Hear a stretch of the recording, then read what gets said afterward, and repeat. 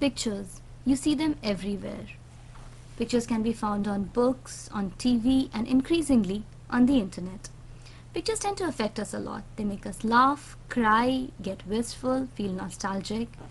Pictures are a powerful tool for persuasion, and we'll take a look at how persuasion through pictures works. The visual impact. Seeing something is always a lot more effective than hearing or reading about it. It's more of an impact and tends to stay in your mind longer. These pictures on child abuse strike you harder than any number of words on the topic could. Pictures stimulate your imagination. They leave a lot to your imagination. The following example demonstrates this.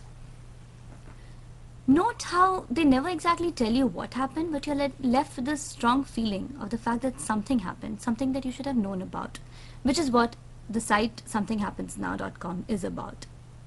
It's powerful because it gets directly to you and therefore stays with you longer. And of course, pictures are attractive. A picture is much more likely to grab your attention on a site. Note how the Yahoo Mail site with this bright picture in it tends to be so much more attractive than the MSN site.